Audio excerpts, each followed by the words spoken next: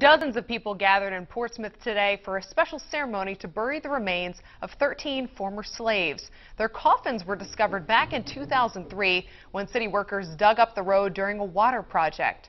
The spot has now become the new African Burial Ground Memorial Park, where the ceremony took place. WMUR's Kria Sakakini joins us live from Portsmouth with more on what today's ceremony meant for the community.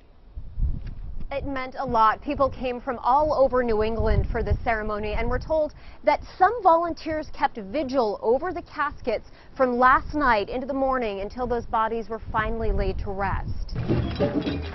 To the beat of West African drums, volunteers brought wooden caskets to a vault in the middle of the new African Burial Ground Memorial Park. Chestnut Street in Portsmouth was a burial site for African slaves in the 1700s, but had been covered over, and few knew about it until remains were discovered in 2003.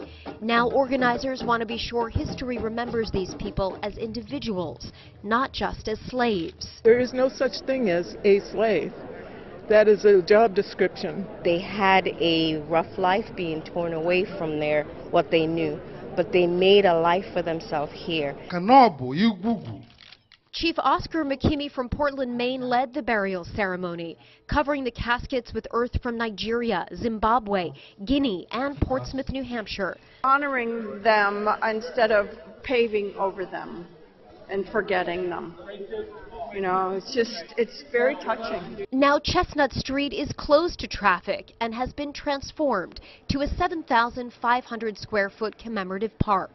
The artist who designed it sees this as an important chance to start a new chapter. Portsmouth is doing a very major thing, I, in my estimation, in connecting a lot of the dots and bringing forth the possibility of a dialogue that I believe will mm -hmm. make a huge difference and at least 200 people are still buried under Chestnut Street.